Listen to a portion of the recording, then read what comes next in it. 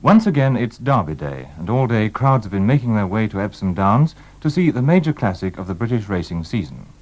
Our commentator on the race is Peter Bromley, with Roger Mortimer to give a summary, and Michael Seth-Smith is down in the paddock, where the horses will shortly be mounted before coming out on parade. We shall be hearing from him in a few minutes, but first, for a description of the scene and the list of runners and riders, over to Peter Bromley in the grandstand. And good afternoon to you from Epsom on Derby Day 1961. And here, let me tell you, the sun is shining. It's an extremely pleasant, perfect day for racing. There's a cooling breeze to prevent it from getting too hot. And there is an enormous crowd here. Above me to the right, in the breeze, fluttering, is the Royal Standard, denoting that Her Majesty the Queen uh, is gracing the meeting with her presence. Also in the royal party, Her Royal Highness the Queen Mother, the Duke and Duchess of Gloucester, and the Princess Royal. And the Queen is wearing a light green wool coat with a green and white check silk dress and a white hat. And the crowds really have been arriving since quite early on this morning. The car parks everywhere are packed, and as I look out over the enclosures in the center, the heath where people enjoy racing here perfectly free, you can hardly you can hardly find a space to put anybody. Away up to the left in the silver ring, the grandstands absolutely packed tight with people, charabancs, buses, and of course over in the center of the course, the swings, the roundabouts, the tents, the gypsies, the fortune tellers, all the fun of the fair, and all for free. Some of you may like to know the results of the two races that we've had here already. First of all, let me tell you the two o'clock was won by Pelting, ridden by Stan Clayton, and that was his first win this season. He's been away nursing a serious injury, and a very welcome return to the winner's enclosure for Stan Clayton, who rode Pelting at 100 to 6 from King's Probity 13 to 2 and Ragtag's third 5 to 1 joint favorite. The distance is there three lengths and ahead, and the 230, the Caterham Stakes over five furlongs, won by the favorite Polly's Bow, 9 to 4 on from Abbott's Crescendo 100 to 6 and Pastel 3 to 1, only 5 ran. And now we come to the feature race of the day, the race we've all been waiting for, the 106 182nd renewal of the Derby Stakes. Let me tell you, there are no sensations, there are no surprises, unlike last year, and all the 28 probables that appeared in the paper are running, and there is no change in jockeys. Here they are then with the runners, the riders, and the draw, bearing in mind that the those considered uh, best drawn are those with the middle numbers, the high numbers having a slight disadvantage and the low numbers a slight disadvantage owing to the shape of the course. Here they are then. Number one, Mr. Herbert Allen's Ploermel, ridden by the French jockey Jean Massard and drawn 26. Before I go on, I ought to tell you that all carry nine stone, the same weight. Number two, Mr. J.J. Astor's Scatter, Joe Mercer, drawn 19. Number three, Mr. J. Ordain's Supreme Verdict, by the Irish jockey P. Powell, and drawn 15. Number four, Mr. E. W. Beach's Oakville, written by E. Hyde, and drawn 14. Number five, Sir Francis Castle's Fontana di Trevi, written by Brian Swift, and drawn 9. Number six, Lord Derby's Latin Lover, Douglas Smith, drawn 16. Number seven, Mr. C.H. Draculis, Polictor, written by Duncan Keith and drawn 10. Number eight, Mrs. R.V.J. Evans, Nicomedes, Scobie Breasley, drawn 20. Number nine, Mr. T.R. Gordon's Patrick's Choice, J. Utley, drawn 5.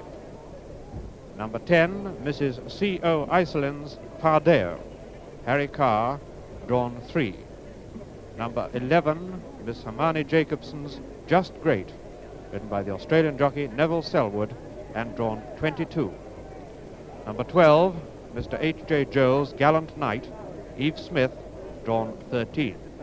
Number 13, Mr. G.C. Judd's Owen Davis, Stan Smith, S. Smith, the jockey, drawn 28. Number 14, Mr. Arthur Kennedy's Hot Brandy, Tommy Gosling, drawn 8. Number 2, uh, number 15 rather, Mr. C. Mahlon Kline's Neanderthal, drawn 2, and written by the Australian jockey Garnie Bougoure. Number 16, Mrs. H. Leggett's Bounteous, ridden by Joe Sime, drawn 11. Number 18, Mr. Joseph McGrath's Time Grain, ridden by the Australian jockey W. Williamson, and drawn 6. Number 20, Colonel E.J.H. Merry's Perfect Night, ridden by G. Lewis, and drawn 1. Number 21, Mr. Jerry Oldham's Sovrango, ridden by the Australian jockey George Moore, and drawn 12. Number 22, Mr. J.P. Phillips, Pinzon, E. Larkin, drawn 7. Number 23, Mrs. Arpad Plesch, with her colt Psidium, ridden by the French jockey Roger Poincelet, and drawn 4. Number 24, Baron Alex de Rothschild, with Alyosha, and ridden by the French jockey El Flavien, and drawn 18. Number 25, Madame R.B. Strasburger's Moutier, ridden by the French jockey Gerard Thiboeuf, and drawn 17. Number 26, Lady Honor Svejdar's Cipriani, ridden by the Australian jockey Ron Hutchinson, and drawn 25. Number 27, the Countess de la Valdane's Bellicoeur, written by F. Palmer, and drawn 21. Number 28, Madame Leon Volterra's Dicta Drake, written by M. Garcia, and drawn 27. Number 29, Sir Harold Wernher's Duel, written by Jimmy Lindley, drawn 24. And finally, number 30, Mr. J.W. Weston Evans, Prince Tudor, written by Billy Rickaby, and drawn 23. And so the way they'll line up then on the inside rails, and remember that from numbers 1 to 6 they're considered badly drawn, and from 23 to 28 considered badly drawn. From the left, therefore, as they face up the course, as all numbering is done in flat racing, on the inside, drawn 1 is Perfect Knight, drawn 2 Neanderthal, 3 Pardeo, 4 Psidium, 5 Patrick's Choice, 6 Time Grain. Now they're considered the worst drawn because the the center of the field tend to come across these runners as they jump off and go up the hill in the first two furlongs. Then number seven, drawn seven, Pinzon, eight Hot Brandy, drawn nine Fontana di Trevi, then 10 Polictor, 11 Bounteous, 12 Sovrango, 13 Gallant Knight, 14 Oakville, 15 Supreme Verdict, 16 Latin Lover, 17 Moutier, Next door to him is his co-Frenchman Alyosha, drawn 18. Then comes Scatter, 19. Nicomedes, 20. Bellicoeur, 21. And Just Great, 22. And those also considered badly drawn on the far side. Drawn 23, Prince Tudor. 24, Duel. 25, Cipriani. 26, Ploermel. 27, Dicta Drake. And right on the outside, drawn 28, is Owen Davis. Well, there is the field. No surprises, no no changes in outrageous fortune that we experienced at this time last year, but let's see if there's been any significant change in the betting down there in the ring, and let's hear from Roger Mortimer. Betting is extremely open in this race. Moutier has retained his position as favourite, but he is at 7 to 1. Pardeo is a second favourite at 8 to 1, and I think it may surprise a good many people that he's at a slightly shorter price than Just Great, who figures at 9 to 1. Uh, Dicta Drake, 100 to 9. Time Green, 100 to 7. 100 to 7, Duel and Sovrango. 20 to 1, Neanderthal. 25 to 1, Bellicoeur, Latin Lover, Nicomedes, and Alyosha as you were, Alyosha is 28 to 1, and it's 40 to 1 bar. Thank you, Roger Mortimer. Well, Moutier, the chestnut half-brother to Monteval, who was second to Lavandin in 1956, and the half-brother to Pampon, who was second here in the Oaks last year, and running in the same colours as the ill-fated Angers, who unfortunately fell and broke a leg in this race last year, is the favourite. He's won his only two races this season, the Prix Daru over a mile and a quarter and the Prix Hocquart. And on French form, he works out about four or five pounds behind Right Royal, who can certainly be considered the best three-year-old colt in Europe. Some people were not so impressed with his win in the Prix Hocquart when he took all his time to beat Alyosha, but I think uh, he certainly is a fine, good-looking colt. The only, of course, drawback is that his young rider Gerard Thiboeuf has a tremendous reputation to live up to, and he doesn't have very much experience of Epsom. Then there's Pardeo, owned by an American, Mrs. C.O. Iselin. He's certainly bred to do the part on his dam side because he's a product of the famous Sledmere stud, and the Sledmere stud sold his dam three weeks to go to America at the Newmarket sales. And Pardeo traces right back to Pretty Polly. But he was unfortunately left in his first race, the free handicap, but then he trotted up in the mile and a half Lingfield Derby Trial Stakes when he beat Nicomedes by two lengths, and he certainly likes hard ground. Just Great, owned by certainly the youngest owner in the uh, owning horses in this race, and possibly uh, if she wins, she'll be the youngest owner ever to win the race. Miss Hermione Jacobson, she's only 24, and Just Great, like uh, Sovrango, is unbeaten this season. Won two races. He won the mile and a quarter Royal Stakes at Sandown, and then he won the Brighton Derby trial by a head from Duel. And the Brighton course very greatly resembles Epsom in the left hand, and there's a downhill stretch, and he is reported to have gone extremely well with Apostle at home in, in very favourable weight concession.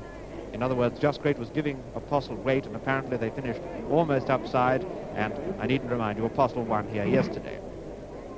Then there's Dicta Drake, who's come very late into the Derby market. He's owned by Madame Susie Volterra, and he's a son of her Phil Drake, who won this Derby, the Derby in 1955, in the same colours. Well, he was unraised as a two-year-old Dicta Drake, but he's won his last two races, and in winning the Prix du Printemps at Saint-Cloud nine days ago, French judges seem to think that he worked out just about the equal of Moutier. Anyway, here he is with the famous Volterra colours, once again with a fancied runner in our derby. Time Grain at 100 to 7 at the moment, Irish bred and own. This year, his form is excellent. He beat Lightyear over seven furlongs at the Curragh, and Lightyear then went on to win the Irish 2,000 guineas. He then ran third in our 2,000 guineas to Rockavon, beaten two lengths and a short head, and he used to be rather too free in his running and a little excitable and rather temperamental, but I believe, I'm told by his trainer Seamus O'Brien, Seamus McGrath, that in fact he's settled down extremely well this season. Then there's Duel, who won the seven furlong 2,000 guineas trials stakes at Kempton in April. He was unplaced in the guineas behind Rockavon and ran an unaccountably bad race there. And then he was beaten ahead by Just Great in the mile and a half Brighton Derby Trial Stakes back in, a little earlier in this month when he was reported to be unlucky in running when he had to gallop round a fallen horse. He's certainly a very handy horse. He's tremendously game and he's bred to win a derby and he'll have the advantages of one of the best horsemen in England, Jimmy Lindley. Then Sovrango, a half-brother to Musidora, who won the Oaks. He's unbeaten this season. He won over a mile and a quarter at Newbury and then he won the Chester Vase very, very impressively by five lengths. He's the biggest horse in the race. He stands 16 hands, over 16 hands. He's owned by Mr. Jerry Oldham, whose colours were carried here on by Fidalgo, who ran second to Parthia, and also by Talgo, who won the Irish Derby, and who, like Sovrango, is by Krakatao. Unfortunately for Harry Wragg, his trainer, and for Mr. Oldham, they engaged Douglas Smith to ride, but he was later required for Latin Lover, and so they were caught without a rider, and so immediately he got on the phone to Australia, rang up George Moore, who was riding in Sydney on Saturday and arrived here on the Sunday, and here he is riding in our derby, and he returns and will be riding back in Sydney, Australia on Saturday. It just hardly seems possible, but this is 1961, I suppose, and must, with jet transport, we must expect things like that. Anyway, there seems to be a world shortage of jockeys at the moment, and no doubt these Australians, there are six of them riding in this race, are going to exploit this. Well, there's Neanderthal, also ridden by an Australian jockey, Garnie Bougoure, who's the stable jockey for Vincent O'Brien. He's a very much improved horse. He's a half-brother to Alcaeus, who was second to Paddy uh, in the Derby second to St. Paddy in the Derby last year, and he's by Niarula, who's now unfortunately dead. He was fifth in the Irish 2,000 guineas to Lightyear, but according to his trainer, he's improved since then, and he did a fine gallop recently in Ireland, and uh, on, his, on the result of that gallop, his trainer Vincent O'Brien uh, has allowed him to come over here and take his chance. And certainly he's, he certainly has improved tremendously in looks since that Curragh race. A chance possibly now to find out from Roger Mortimer if there's been any significant change in the betting. Moutier has hardened by two points and is now clear favourite at 5 to 1. 8 to 1 Pardeo, 9 to 1 Just Great, and then there are four horses figuring at 100 to 8. Dicta Drake, Time Green, Duel, and Sovrango. 20 to 1 Neanderthal, Latin Lover, 22 to 1 Bellicoeur, and 25 to 1 Nicomedes. 33 to 1 Bar. And as you spoke, Roger, the parade has started. They're filing past in Indian file across the course, up past the winning post. And these 28 three-year-old colts parading for the 182nd renewal of the Derby Stakes. A brilliant scene this, the best three-year-olds in England and France and Ireland, with the possible exception of Right Royal. An enormous crowd up in the grandstand, packing, thronging the grandstand, and over on the far side of the course, packed absolutely tight. Hundreds of thousands of people come here to see this great race. And away up the center, this green ribbon of turf, and in a few minutes' time, some 10 minutes' time, it'll all be over. And there'll be hard luck stories, no doubt. But one horse, one horse will stand in this winner's enclosure down below and will be hailed as the best three-year-old here in Britain. And heading the parade, Ploermel, recently bought by American industrialist Mr. Herbert Allen, who is better known as the owner of High Perch, and he's wearing his famous white with red cross belts. All perfectly calm and collected. The only one that's out of line is Just Great, playing up a little bit, but they're all walking quite quietly up the far rails, a little bit on their toes, one or two of them, but are no signs any of them are going to give any trouble. Moutier walking below me now, perfectly calm. There were doubts that his, he might get excited in this parade. He's looking extremely cool, beautifully turned out, a flashy chestnut with a lot of white, four white socks and a white face, and his jockey Thiboeuf looking relaxed and confident. And of course, he has that awful experience last year with Angers to remember, but he certainly isn't showing any signs of nervousness. In fact, I think this young jockey has matured considerably since he came over last year. Well, we've got down to Bellicoeur, who was a winner at St. Cloud in March. Then he was third to match at Longchamp, but he's quite a long way behind the best horses of his age in France, and he has quite a lot to catch up with on Moutier. Alyosha is one of the fancied French horses. He's had two races, both in France, although beaten in both, he certainly isn't disgraced, and he was beaten a length by Moutier in the Prix Hocquart and ran extremely well. He's full of stamina, his pedigree, and he's certainly pegged away. And here they come, cantering back to the start, headed by Ploermel, going with a nice easy action with the French jockey Jean Massard. Scatter is next, a black colt by Sicombre. Also the Sarah Moutier. Then comes Oakville going past Fontana di Trevi and a nice chestnut, a light chestnut Supreme Verdict. Latin Lover, fine looking horse with a grand stride going past with Douglas Smith. Pollictor really stretching his toe going past now. Then Nicomedes with Scobie holding on tight. Nicomedes taking a strong hold. Then the outside of Patrick's Choice. Pardeo, the chestnut, going past now with Harry Carr. And here comes Just Great, fairly pinging along. And uh, Selwood allowing him not very much rain, and he's gone past now with Gallant Knight also trying to give Eph Smith a difficult time on the way to the start, but Eph Smith holding on. Next, here comes another outsider, Owen Davis, and Stan Smith. Owen Davis, a half-brother to Mr. Jerry Judd's hurdle winner, Fair Time. Then come cantering down now, Hot Brandy, in the same colours that Oroy carried so well in this race last year. Neanderthal, another chestnut with a white blaze. Very good looking coat this. He's going down steadily with the Australian Garnie Bougoure. Then Bounteous wearing blinkers coming past. And Time Graham fairly swinging along. Time Graham whom Bill Williamson is having the greatest difficulty restraining. Going down very fast. Then comes Perfect Night. Going evenly with Sovrango behind. Maybe just feeding the going a little bit, Sovrango. Going down a little bit. But he's moving better now as he warms up. Pinzon next. Behind pins on Psidium and going off extremely fast, Alyosha, a very bright bay with a noseband. And here comes the favourite now, Moutier with a fine action, but he's apt to carry his head a little high, making it rather difficult to restrain him at his slow paces, but Thiboeuf giving him plenty of rein. And then Cipriani, the blinkered Cipriani, and Ron Hutchinson, the Australian, going down in front of us at nice level pace. Then here's Bellicoeur, the blinkered Bellicoeur, another French runner, striding out. And then Dicta Drake, a bay with a, a light blaze, a white blaze. Then Duel, going down very beautifully balanced. Duel with Jimmy Lindley. And last of all, last of all now is Prince Tudor and Billy Rickaby. Prince Tudor probably running the uh, running that in Lover for, and uh, for I think they're probably the three biggest horses in the race. Well, now they're going away out of my sight, down into the paddock, and although we can see them down in the paddock, watching them at close quarters on the rails is Michael Seth-Smith. So come in, Michael Seth-Smith, and tell us uh, how do they look down there in the paddock? Well, as I'm speaking to you now, the horses are just beginning to walk slowly past me, not in the order they came down. In fact, um, Scatter and Gallant Knight are the first two down.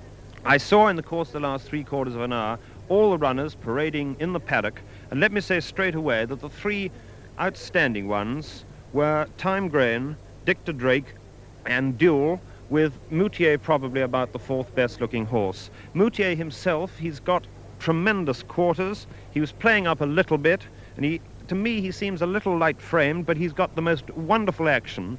And as I'm standing here now, I can see him going down very, very quietly. He's, without any question of doubt, a worthy favourite. And his jockey, of course, as Peter Bromley has said, has the awful worry of what's going to happen this year after Angers' disaster before.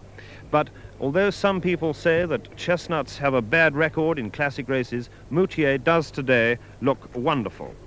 Just great Personally, I was a little disappointed with him. He didn't look really quite as well to me as he did when he won the Brighton Derby trial recently, and Duel seems to have come on much more since that race. On the other hand, Just Great, who cost 3,600 when he was bought from the Merton Agnes stud, he's a very nice mover. He's got great scope, and I'm told that he acts on any going. Time Grain, well, that was the one which, quite honestly, took my fancy more than any other in the paddock.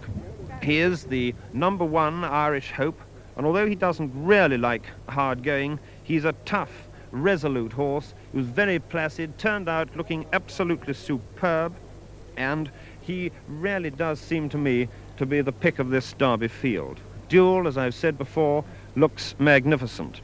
Going quickly through the runners as they appear on the race card, the French horses Ploermel is a little disappointing. I don't think he'll act at all on this going. And Dicta Drake looked very much better than he did. The two of them, before racing started, were being walked by their stable lads quite quietly up and down under the trees, and they were, in fact, the first two horses which we saw. Scatter, he looked wonderful when he won at Hurst Park earlier in the year, but I don't think he looks today quite up to the class of winning this race. Supreme Verdict. He's a very nice Supreme Court colt, a little bit flashy. He's playing up slightly in the paddock, although he's giving no trouble as he goes down to the post now. And I know that he is very much fancied in Ireland. Oakville, coming down from the north, looked a bit outclassed. So also did Fontana de Trevi. Latin Lover, little bit disappointing. Pelicator, he was also giving some trouble in the paddock, but he's gone down to the start very quietly, and Duncan Keith, I think, thinks he'll give him a very good ride. Nicomedes, who takes after his sire Nimbus and almost looks the spitting living image of his ill-fated brother Nucleus, looked really superb, although one felt that perhaps with more time in the autumn he would be a better horse than he is now. Patrick's Choice didn't uh, sort of look particularly well in this company. Pardeo, well, he is a dolly colt. He cost 7,000 when he was bought, and he looked trained to the minute, but he certainly doesn't catch the eye. Gallant Knight, sweating a little in the paddock. Owen Davis, one didn't really notice him in this company, and neither did one notice Hot Brandy. Neanderthal, also greatly fancied in Ireland, gives the impression that he'll be very much better in the autumn. Bounteous, wearing blinkers, was one of the few horses giving some trouble going down to the start. Perfect Knight, who you remember won over this course at the Epsom spring meeting, looked turned out fit to run for his life, but he again looks a little backward. Sovrango, the experts all seem to think he'll have difficulty in coming down Tattenham Corner. He's terribly straight in front. Pinzon. well, if you want to rank outsider, he's certainly of the unfancied horses in the races is by far the best looking. Psidium, the horse which was giving more trouble than any other. Alyosha is very strong quartered horse, but rather common looking. Cipriani, also wearing blinkers, not particularly distinguished. And I didn't like Bellicoeur. Dicta Drake, he really is a wonderful looking individual. And he and Time Grain, together with Duel, seem to be the outstanding three in this race. Well, now, as I am talking to you, the horses are going up towards the starting gate. Most of them have already come through the channel leading up to the gate, and so I'll hand you back for a commentary on the race to Peter Bromley in the grandstand. And from the grandstand, we look away across the course, across this horseshoe course, down to the mile and a half start, where most of the runners who've now made their way up the narrow way from the rubbing house across the the downs here up to the mile and a half start. Horseshoe-shaped course with an uphill gradient up for the first three furlongs. Then at the top of the hill with a mile to go, they start swinging left-handed. Then they reach Tattenham Hill with six furlongs to go. They start the descent. And then this is the crucial part of the race. Round left-handed, downhill, thundering round this corner, down Tattenham Corner, into the straight. Four furlongs to go they then have. And it, it then is a very short run-in because the Horses nearly always that win have to be well placed, are well placed on this vital, crucial Tattenham corner. Then, of course, the last desperate sprint to the line where I'm afraid I'm not exactly on the line, and if the judge calls on the evidence of the camera, then we'll have to wait for the photograph to be developed. The going, let me say, very, very firm, and it might be a good chance, as they're down there having their girths attended to, to call in Roger Mortimer once again to hear if there's been any change in the betting. Very little change of importance in the betting. Moutier is still favourite at 5 to 1, 7 to 1 Pardeo, 9 to 1 Just Great. Four horses at 100 to 8, namely Sovrango, Dicta Drake, Time Green and Duel. 20 to 1 Neanderthal and Latin Lover, 25 to 1 Bar. Thank you, Roger. Five French horses then. Ploermel, Alyosha, Moutier, Bellicoeur, and Dicta Drake. Four Irish horses, Supreme Verdict, Neanderthal, Time Green and Cipriani. Six Australian jockeys, one Irish, and six French jockeys. And, of course, three American owners. That's the international setup for the English Derby here at Epsom, 1961. The three American owners, Mr. Herbert Allen, with Ploermel, who recently bought Ploermel from France, Mrs. Iselin with Pardeo, and Mr. C. Mahlon Kline from Philadelphia, the owner of Neanderthal, trained away in Tipperary by Vincent O'Brien. I suppose we ought to call Madame Strasburger, American and American in Paris, and I'm sure everyone hopes that she'll have better luck than she's experienced in these previous Epsom derbies when her luck must surely be the cruelest ever, with Monteval beaten a neck by Lavandin, Pampon beaten ahead in the Oaks here, and of course the terrible tragedy that occurred to Angers in the race last year. Now all this, all the 28 runners you've just joined us, let me remind you that 28 are at the post, and any minute now they'll be coming under starters' orders.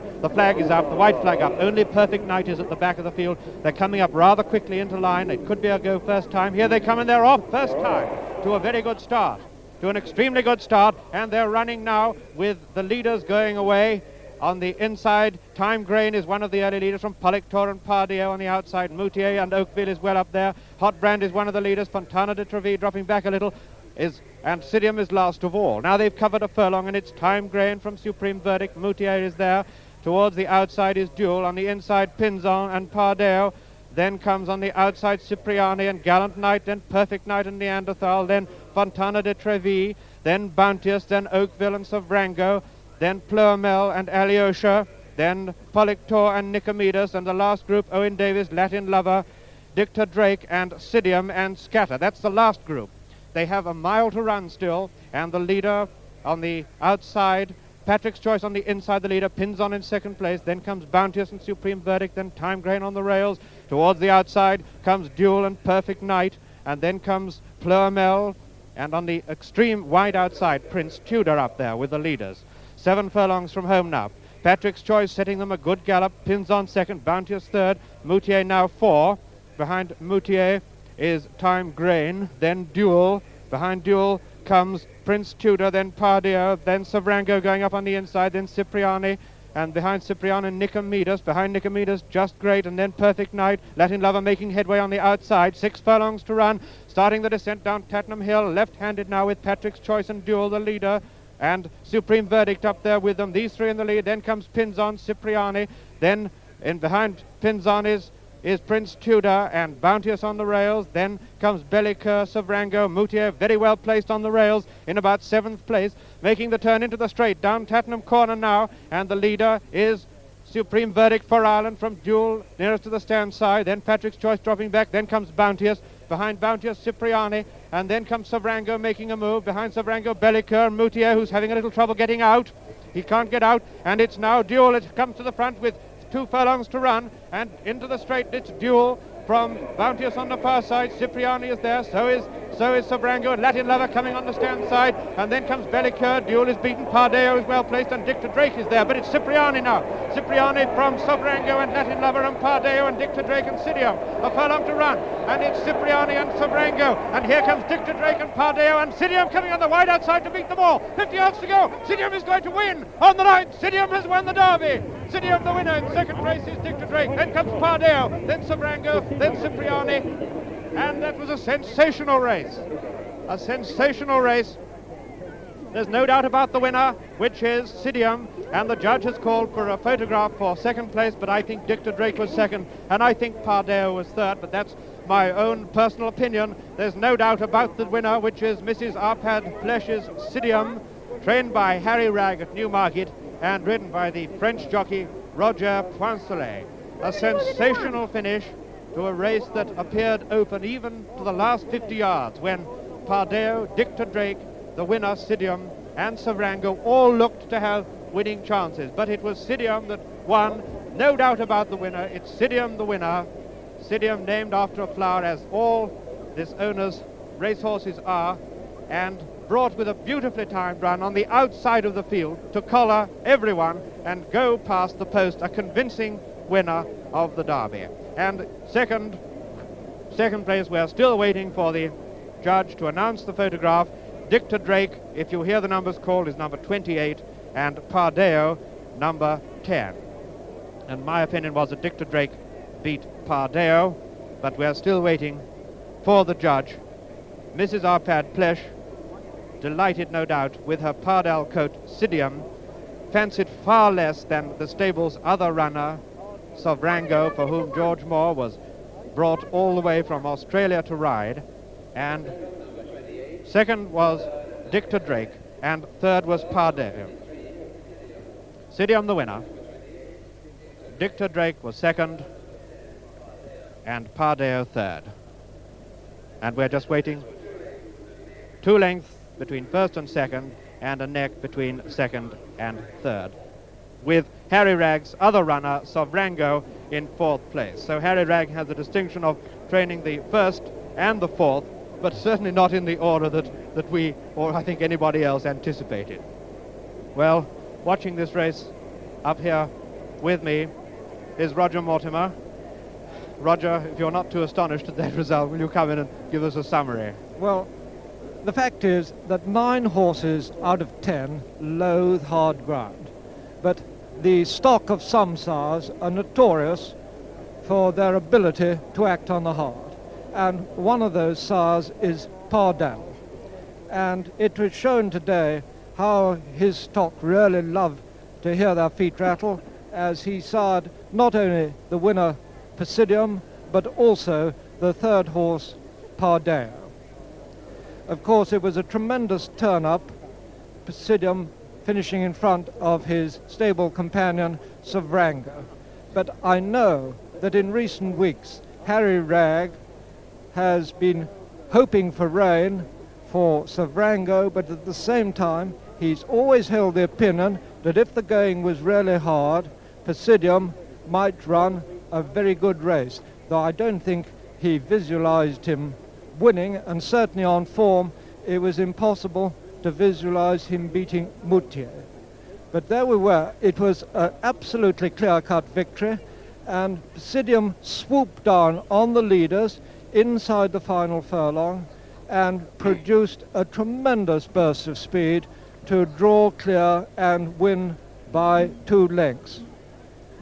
Dicta Drake ran a magnificent race and looked like pulling it off once again for Madame Volterra, but he just couldn't find that little bit of extra speed in the final 200 yards.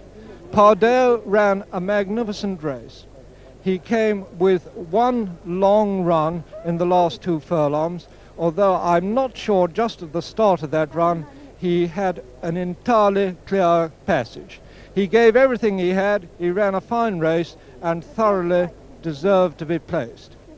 Sovrango ran a, a good race, just couldn't quicken in the final stages.